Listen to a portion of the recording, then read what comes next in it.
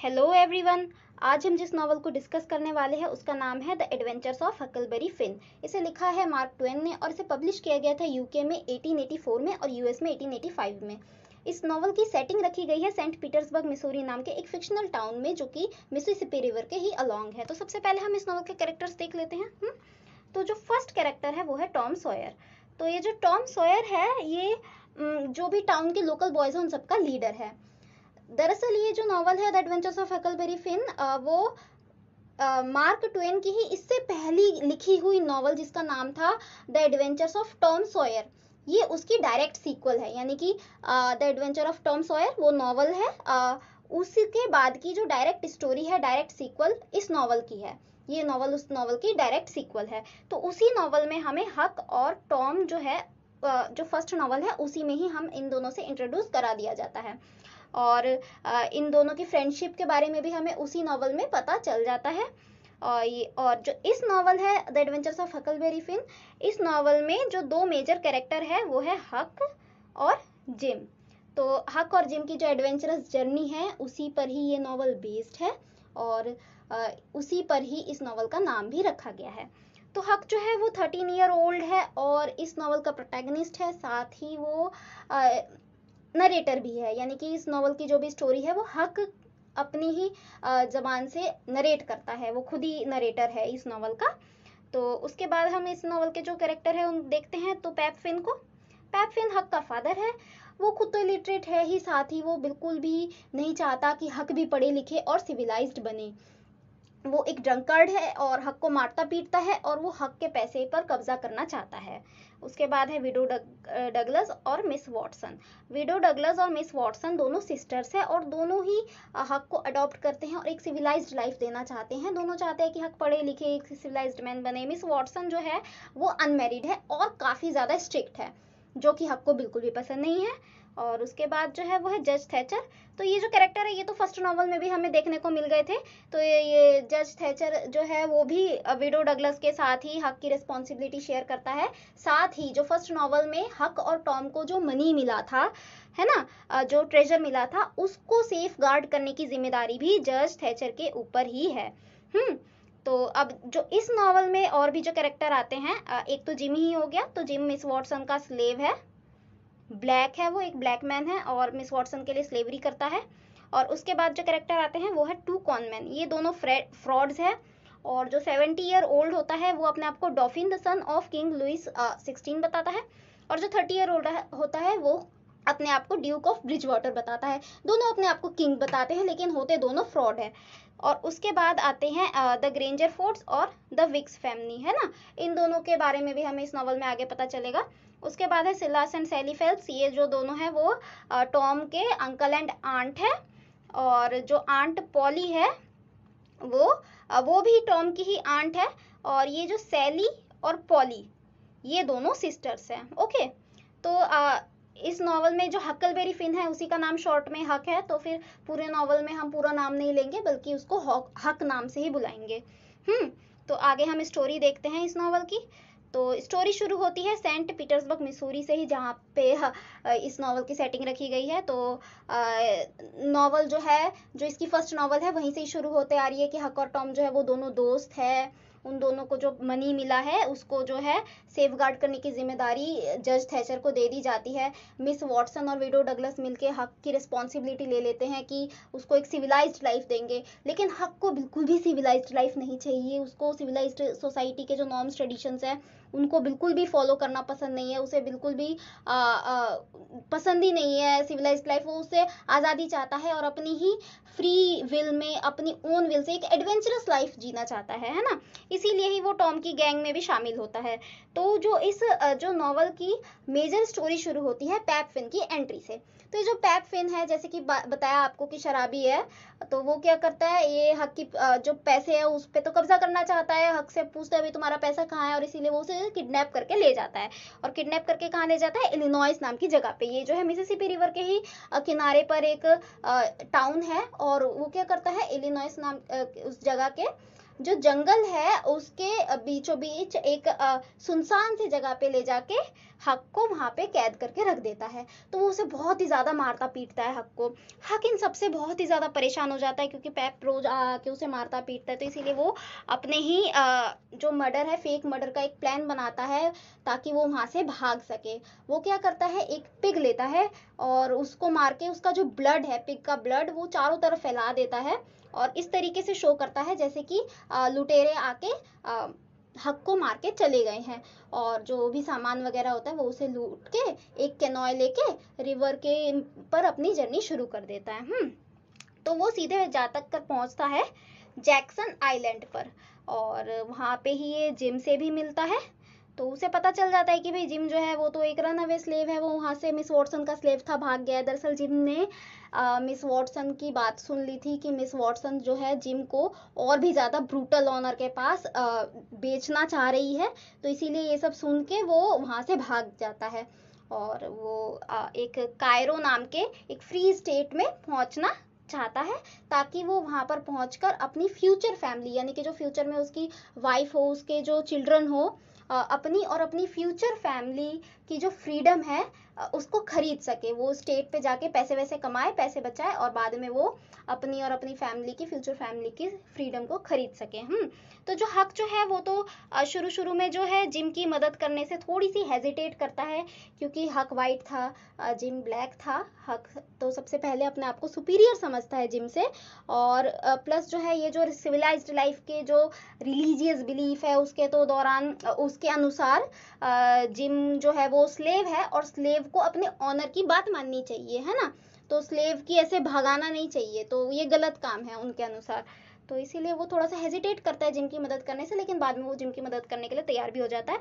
और जिम जो है वो क्योंकि बड़ा है हक तो थर्टीन ईयर ओल्ड है, लेकिन जिम एडल्ट है, जिम बड़ा है। तो वो जो है हक के बिल्कुल गार्जियन की जैसे देखभाल करता है, बिल्कुल गार्जियन की जैसे ट्रीट करता है। दोनों अच्छे दोस्त बन जाते हैं और अपनी जर्नी शुरू करते हैं। और रिवर में आफ्टर हैवी फ्लडिंग काफ़ी हैवी फ्लडिंग होती है, उसमें वहाँ पे उनको क्या मिलता है? एक राफ्ट मिलता है। हम्म और राफ्ट तो मिलता है वो उसे रख लेते हैं राफ्ट को और आगे उन, वहाँ पे उनको एक फ्लोटिंग हाउस भी मिलता है। तो वो क्या करते हैं, उसके अंदर जाते हैं, जितना भी सामान वामान होता है उसको लूट लेते हैं और जिम को वहाँ पे एक डेड बॉडी भी दिखाई देती है। तो जब डेड बॉडी देखता है, वो और किसी की नहीं, बल्कि पैपफिन की होती है, यानी कि हक के फादर की होती है वो डेड बॉडी तो वो हक को वो डेड बॉडी देखने से बिल्कुल मना कर देता है और उसे बताता भी नहीं है कि उसकी फादर की बॉडी है। बल्कि वो वो यही, वो अच्छा ही सोचता है, वो सोचता है हक देख के डर वर जाएगा, इसीलिए वो उसे वहाँ से लेके चला जाता है। अब आगे अपनी जर्नी के दौरान अब वो क्या करते हैं एक टाउन पर रुकते हैं। हक जो है लड़कियों की, जैसे गर्ल की, जैसे ड्रेसअप करता है और दोनों मिलके जूडिथ लॉफ्टस नाम की एक लेडी होती है, उन दोनों के वहाँ पे ठहरते हैं। ये ऐसा इसीलिए करता है हक ताकि वो ये जान सके कि हक में क्या बात सॉरी टाउन में क्या टाउन में क्या बातें चल रही है उनके बारे में। तो उन दोनों को पता चलता है कि जो हक है, उसके मर्डर का सस्पेक्ट जिम को माना जा रहा है, क्योंकि जिम एक भाग चुका है रनअवे स्लेव है जिम तो इसीलिए उन्हें लग रहा है कि जिम ने ही हक को मारा है और भाग गया है। इसीलिए जिम के ऊपर कैश प्राइज रख दिया गया है थ्री हंड्रेड डॉलर का और जो भी जिम को पकड़वाएगा उसे कैश प्राइज मिलेगा और पुलिस चारों तरफ़ जिम को ढूंढ रही है। तो ये सब सुन के दोनों फटाफट से वहाँ से राफ्ट लेके निकल लेते हैं और दोनों भाग जाते हैं। तो अब उसके बाद क्या होता है? आ, दो जो उनको फिर रिवर में एक थीव्स की बोट भी मिलती है तो वो वहाँ से भी सब कुछ लूट के भागते हैं और दरअसल उनको रास्ते में जो भी मिलता है वो सब कुछ लूटते हुए निकलते हैं। पर आगे क्या होता है फॉग में वो दोनों अलग हो जाते हैं। जिम अकेला राफ्ट पर रह जाता है, हक अलग हो जाता है और जब वो दोनों वापस मिलते हैं तो हक जिम का थोड़ा सा मज़ाक बना बता, बनाता है, फन करता है वो।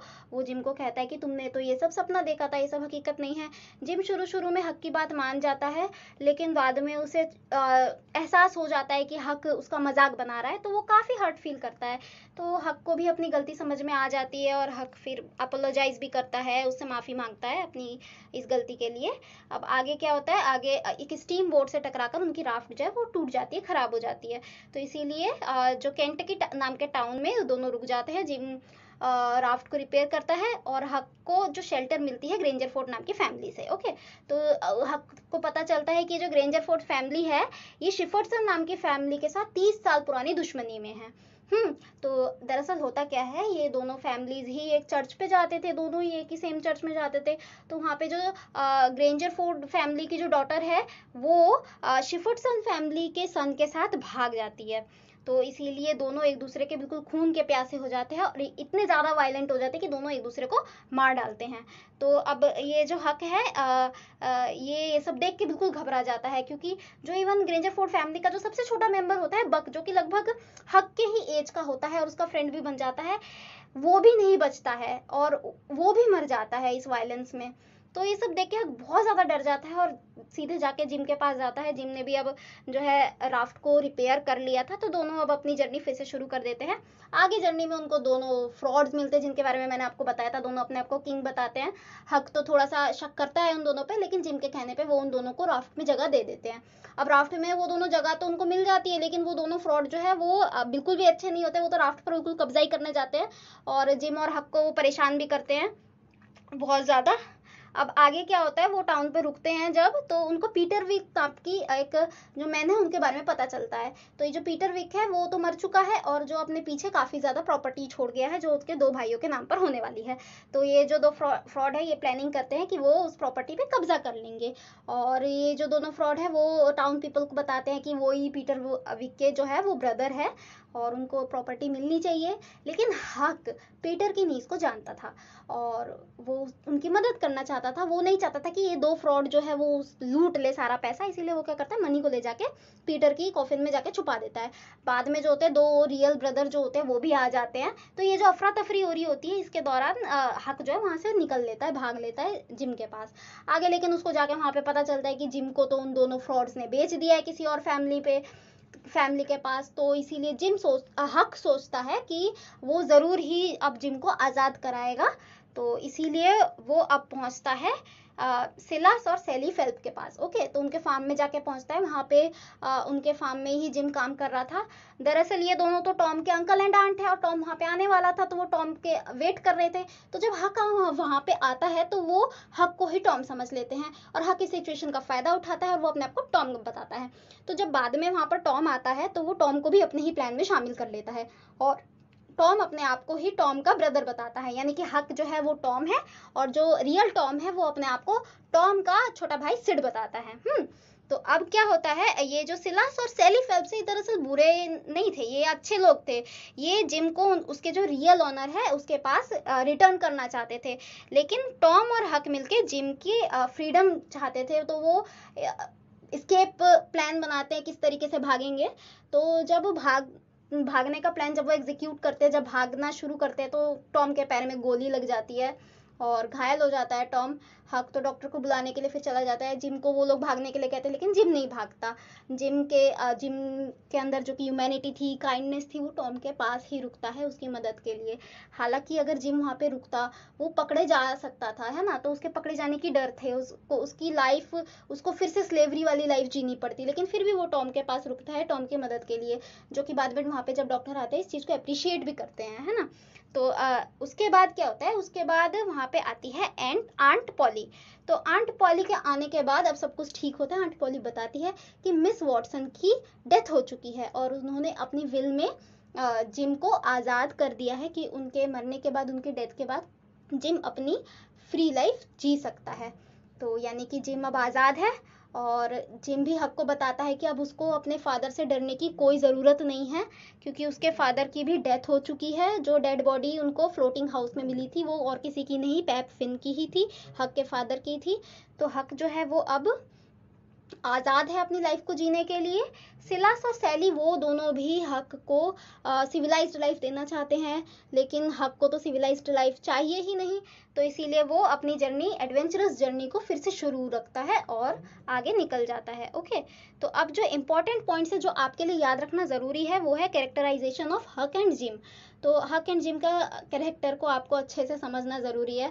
हक जो है वो तो मस्त मौला है बिल्कुल, और जिम थोड़ा सा लेकिन सुपरस्टिशियस है है ना? दोनों के पास ही ज़्यादा एजुकेशन है नहीं लेकिन मोरालिटी के मामले में ह्यूमैनिटी के मामले में दोनों बहुत ही ज़्यादा सिविलाइज्ड सोसाइटी से तो आगे हैं। हम्म दोनों को ही फ्रीडम चाहिए। जिम को रेसिज्म की वजह से, अपने रेस की वजह से स्लेवरी से फ्रीडम चाहिए और हक को, ये जो सिविलाइज्ड सोसाइटी है, उसके नॉर्म्स एंड ट्रेडिशन से फ्रीडम चाहिए। हम्म उसके बाद हम देखते हैं यूज़ ऑफ़ ह्यूमर तो जो इस नॉवल में ह्यूमर का काफ़ी अच्छे से यूज़ किया गया है। अगर इवेंट्स को सरफेस पे देखा जाए तो वो कॉमिकल लगेंगे, लेकिन अगर उसकी डीप मीनिंग को देखा जाए तो बहुत ही सीरियसनेस छुपी हुई है, यानी कि सीरियसनेस और कॉमिक तो इन दोनों का कॉम्बिनेशन हमें इस नॉवल में देखने को मिलता है। जो हक है वो तो अपने आप को सुपीरियर समझता है, जिनका मज़ाक वजाक बनाता है। लेकिन जिम तो अपना बिल्कुल गार्जियन जैसे रोल करता है, बिल्कुल हक का ऐसा ख्याल रखता है जैसे वो गार्जियन हो और मज़ाक बनाता है जिम का। तो ये सब देखने में तो कॉमिकल लगता है और साथ में वो जो दो फ्रॉड जो उनको जर्नी के दौरान मिले थे, वो जिम को ब्लू पेंट कर देते हैं ताकि उसका ब्लैक रेस के बारे में पता ना चले। तो वो मज़ाक बना रहे होते हैं। दिखने में कॉमिकल लेकिन हकीकत में अगर जिम के नज़रिए से देखा जाए तो कितनी सीरियसनेस है इसमें मतलब कितना दर्द है, कितना पेन है और कितना उसके लिए टॉर्चर उसके लिए तो टॉर्चर है जिम के लिए डेफिनेटली हम्म तो और साथ ही अब जब ग्रेंजर फोर्ड फैमिली और शिफर्सन फैमिली की भी बात कर लेते हैं, दोनों काफ़ी ज़्यादा रिलीजियस है चर्च पे जाते हैं। चर्च में क्या सिखाया जाता है? लव एंड पीस लेकिन दोनों उसके बिल्कुल ही ऑपोजिट होते हैं। इतने ज़्यादा वायलेंट होते हैं कि एक दूसरे को पूरी फैमिली मार डालती है है ना? एक दूसरे को ही वो लोग मार डालते हैं। और उसके बाद जो अगर इंपॉर्टेंट है तो वो है थीम्स को देखना। तो ये जो यूमर है इस तरीके से यूज़ किया गया, जो इवेंट्स इस तरीके से रखे गए, उसी से ये थीम निकल के आती है, जो हमें समझ में आती है फ्रीडम स्लेवरी एंड रेसिज्म है ना? तो ये जिम को तो स्लेवरी सफ़र करना ही पड़ता है। अपने रेस की वजह से रेसिज्म की वजह से स्लेवरी जिससे उसे फ्रीडम चाहिए। और हक जो है, उसको सबको सिविलाइज लाइफ चाहिए, देना चाहते हैं, लेकिन हक को तो सिविलाइज लाइफ चाहिए नहीं। उसको उसके नॉर्म्स ट्रेडिशन रिलीजियस बिलीफ उन सबसे बिल्कुल वो भागना चाहता है, उसे नहीं चाहिए ये सब, है ना? और उसके बाद हम देखते हैं थीम जो है next theme intellectual and moral education हमें पता है हक एंड जिम दोनों के पास ही एजुकेशन नहीं है। दोनों ही इतने ज़्यादा एजुकेटेड नहीं है, लेकिन अगर मोरालिटी की बात करी जाए, है ना? हक जो है शुरू शुरू में तो हेजिटेट करता है क्योंकि उसको थोड़ी बहुत उसने सिविलाइज लाइफ को देखी है। उसको पता है कि जो रिलीजियस बिलीफ है उनके, उसके अकॉर्डिंग जो स्लेव है, उसको अपने ऑनर की बात माननी चाहिए। तो स्लेव को इस तरीके से भगाने में मदद नहीं करनी चाहिए हक को। वो थोड़ी थोड़ी सिविलाइज लाइफ की जैसे सोचता है। लेकिन एंड में तो वो एम्पैथिकल फील करता ही है जिम के प्रति और इसीलिए जिम का वो क्लोज फ्रेंड भी बन जाता है। और जिम भी है, जो है उसमें भी ह्यूमैनिटी और काइंडनेस कूट कूट के भरी है। तो दोनों में ही मोरालिटी काइंडनेस ह्यूमैनिटी की बात करी जाए तो भरपूर है। लेकिन ये जो सिविलाइज्ड सोसाइटी है, ये तो हिपोक्रेटिक है बिल्कुल।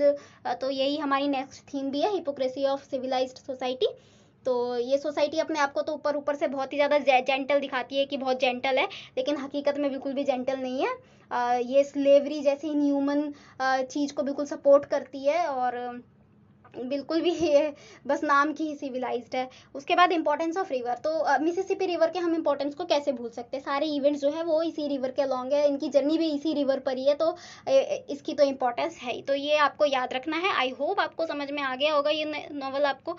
तो थैंक यू